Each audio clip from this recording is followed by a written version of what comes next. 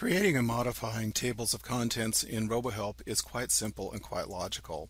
The project that we're looking at right now in Project Manager has got a number of topics. For instance, the one we're looking at right now, attendance. If we scroll further down in the Project Manager, we'll find that there's a special folder for table of contents. And when we unfold this, we'll discover that there actually are three separate table of contents for this project. Double clicking on them will reveal them. The first one is for the full employee care manual. The second one is for an ebook version. You can see that it's much shorter. And you'll also see there's a third extremely short table of contents for an international version. These table of contents that we're looking at can actually be applied to different profiles in different outlets outputs. For instance, notice how short the ebook profile is because we would not want as many items in our table of contents. If we were to go down to our single source layouts and take a look at the um, ebook, we'll see that in our content, it's actually specifying the shorter ebook table of contents, although the others are available.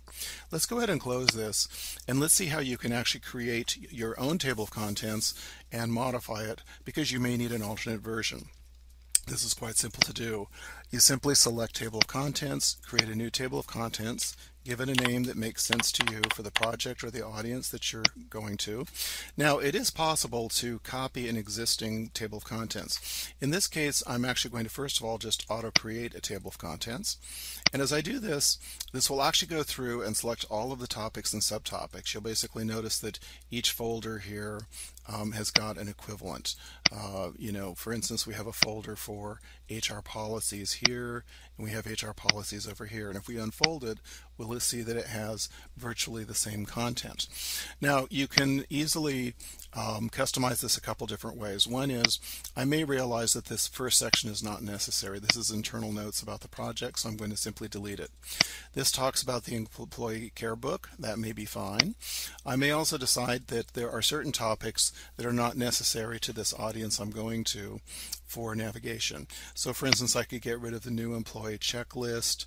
Um, I may want to get rid of harassment grievances, equal opportunities, dependent leave, and employee sick pay. This is basically creating a shorter table of contents. What we can also do is delete entire topics as I'm doing here and then it's possible to actually go over to the project window and you can actually drag over um, folders or topics that you would like to add to your table of contents. In fact, it's actually possible, it's actually possible, I'm sorry, to create an entire uh, table of contents in this manner. You also can use arrows to, to promote it to a higher level if you wish. And I finally may decide that I want part of benefits, so I'm going to go ahead and put benefits down here. Uh, perhaps I'd like benefits to move over, and I may want to get rid of um, uh, company cars because that's not going to apply to the people that I'm going to be sharing this with. Once you've applied a table of contents uh, to a particular output, for instance, I've actually uh, selected the full employee care manual table of contents for my web help. If I decide that I'd like to view that um, with my browser to get a preview of it as I'm doing here, when this opens up, my browser will come up and I'll actually see the same table of contents choices that were in there earlier. For instance, here are all of those HR policies and procedures that we saw in the original version before I made my customized version.